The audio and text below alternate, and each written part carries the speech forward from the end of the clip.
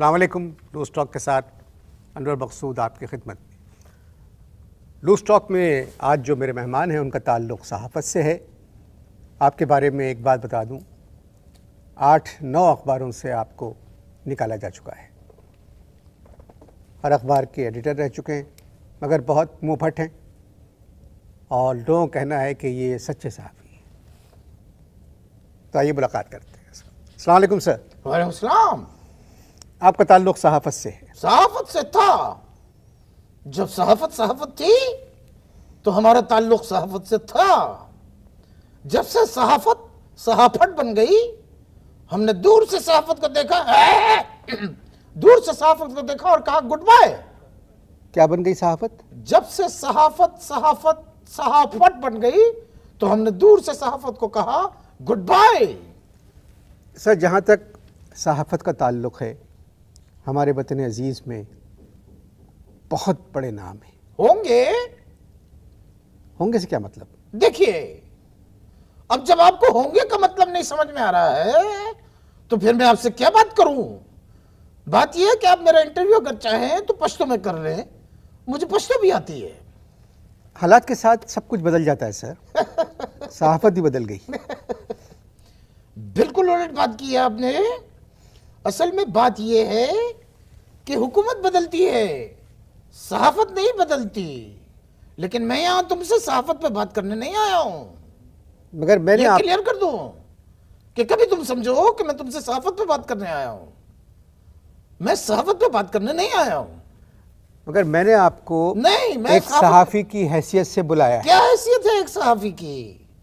एक सहाफी की इस मुल्क में क्या हैसियत है? अगर कोई सच्ची खबर लगा दो तो अखबार का मालिक जो है ठुड्डे मार के बाहर निकाल देता है और कभी कभी नौकरी से छुट्टी कर देता है और बकाया जात भी नहीं देता। मगर इस वक्त हम अखबार के मालिक की बात नहीं कर रहे हैं हम सहाफ़त की बात कर रहे हैं। सिर्फ़ सहाफत पे बात कर रहे हो? देखो अगर सहाफत में से अखबार के मालिक को निकाल दो तो क्या बचता है? जवाब दो क्या बचता है? खाली अंडा। और अंडे का मतलब है ज़ीरो। और zero is equal to sir कभी किसी अखबार के मालिक से झगड़ा हुआ? ये लो किसी अखबार के मालिक से? हर अखबार के मालिक से। जब भी अखबार के मालिक ने मैंने कोई सही खबर लगाई, अखबार के मालिक ने मारना शुरू किया ठुड्डे ठुड्डे मारना शुरू किया तो मैं क्या करता था कि अपना जो कलम है, वो मालिक की पसलियों में घुसड़ देता था। फिर मालिक को कलम की ताकत का अंदाज़ा होता था। पूरे सहाफत की फ़ील्ड में मैं एक वायद सहाफी हूँ जो कलम घुसेड़ के नाम से मशहूर था। इस तरह के झगड़े की नौबत कब और क्यों पेश आती? हाँ सवाल बहुत अच्छा है उसका जवाब भी बड़ा अच्छा है। उसका जवाब यह है कि जब हम जाके कमरे में बैठते थे दफ्तर में तो बुलावा आ जाता था चपड़ा चपड़ासी आके कहता था चलिए आपको मालिक ने बुलाया है? तो मैं ये कहता था अबे क्यों बुलाया है? मैं सहाफी हूँ कोई डांसर नहीं हूँ कि जब मर्ज़ी आए बुला लो। मैं नहीं जाता था। आप मुलाजिम थे आपको जाना चाहिए था। सहाफी किसी का मुलाजिम नहीं होता। सर आप किस ज़माने की बात कर रहे हैं? हर जमाने की बात कर रहे हैं। बताओ हर अखबार का मालिक हमको बुला के कहता है कि हर हुकूमत की तारीफ़ करो। हमने कहा हमसे नहीं होती है। खुद करो। और अगर तुमको ज़्यादा तारीफ़ करने का शौक है तो एक अखबार निकालो जिसका नाम रखो डेली तारीफ़।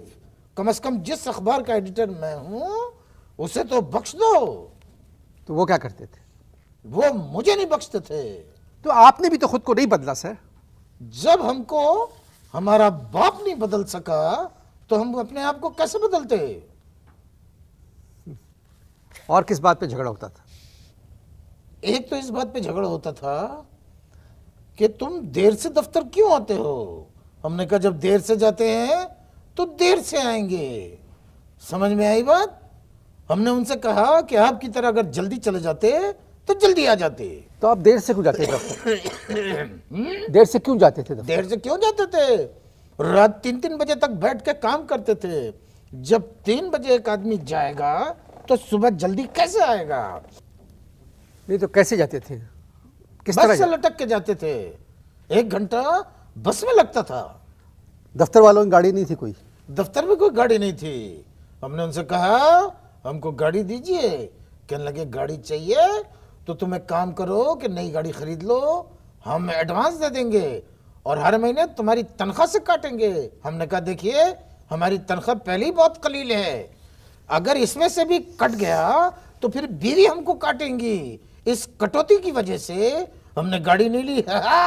और दूसरी बात यह है कि हमको अब तक गाड़ी चलाना भी नहीं आती है।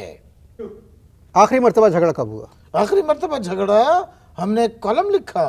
कॉलम के बाद हमने एंड में फैज साहब का एक शेर लिख दिया।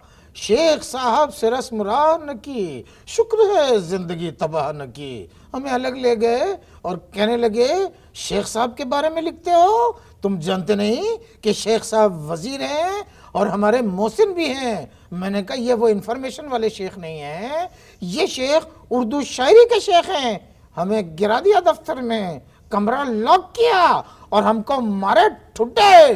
अब वहीं पे कलम पड़ा हुआ था। हमने वो कलम उठाया और उनकी पसलियों में घुसेड़ दिया। बस साहब उसके बाद से नौकरी नहीं की क्योंकि उन्होंने हर अखबार के मालिक को एक फैक्स कर दिया कि इसको कोई भी अपने दफ्तर में मत रखना। ये मालिक की पसली में कलम घुसेड़ देता है। वक्त हुआ है इश्तहारों का। इश्तहार देखते हैं फिर आपसे मुलाकात होगी। इश्तेहारों से पहले हम बात कर रहे थे मालिक के कलम मारने की। तो सर, आप क्या चाह रहे हैं? किस कस्म की सहाफत चाह रहे हैं? मौलवी मोहम्मद बाकर, मोहम्मद हुसैन आज़ाद, सर सैद अहमद ख़ान, मौलाना अबुल कलाम आज़ाद, मौलाना मोहम्मद अली जौहर, ज़फ़र अली ख़ान, क्या चाह रहे हैं? क्या नाम लिए हैं? यही लोग तो हमारे सही उस्ताद हैं। सच्चाई के अलमबरदार जो महसूस करते थे, वही लिखते थे। हमारे मालिक को देखो एक दिन कमरे में आए और आके कहने लगे कि वज़ीर आज़म जो है, वो हमारे अखबार का दौरा कर रहे हैं। और मुझसे कहने लगे कि आप कमरे से बाहर मत आइएगा। मैंने कहा, क्यों? कहने लगे, आपको पसीना बहुत आता है। मैंने कहा, अगर मेरे पास से पसीने की बू आती है तो तेरे पास से खून की बू आती है। और कमाई में खून पसीना दोनों शामिल होता है। मेरा मतलब है कि ऐसी बातें आप क्यों करते सहाफी को सच्चाई का अलम्बरदार होना चाहिए। सहाफी को हमेशा सच लिखना चाहिए। एक दिन मुझे इंटरकॉम बजाया मालिक ने और कहने लगे कि एक नाचने गाने वाली को सरेराब पकड़ा गया है। जरा कल के अखबार में फ्रंट पेज के ऊपर तीन चार रंगीन तस्वीरों के साथ ये खबर छापिए मैंने कहा, पहले तो मैं उसको छापूँगा, जिसने ये खबर आप तक पहुंचाई है। मैंने कहा, सुनिए, वो नाचने गाने वाली, वैसे उसकी माशरे में कोई ज़्यादा इज़्ज़त नहीं है। तो आप ये खबर छाप के उसको और क्यों शर्मिंदा करना चाहते हैं? हो सकता है उसे पूरा शहर न जानता हो। खबर छपने के बाद पूरा शहर जान ले। मैंने कहा, मैं ये खबर नहीं छापूँगा नहीं छापूँगा नहीं छापूँगा। बस ये सुनते ही मुझे उन्होंने ठुड्डे मारना शुरू किए मगर मैंने उनको जो है ये कलम नहीं मारा। मुझसे कहने लगे क्या वो तेरी रिश्तेदार थी लेकिन फिर भी मैंने उनको कलम नहीं घुसेड़ा पसलियों में। आपने क्या कहा? मैंने उनसे कहा कि अगर मुझे चॉइस दी जाए कि मैं आपका रिश्तेदार हूँ या उसका रिश्तेदार हूँ तो मैंने कहा मैं ये लोगों से कहूँगा कि मैं उसका रिश्तेदार हूँ। फिर क्या हुआ? बस फिर उसने ठुड्डे मारना शुरू किए। ठुड्डे मारना शुरू किए और ठुड्डे काफ़ी देर तक मारे। उस वक्त मुझे वहाँ कलम नहीं मिला।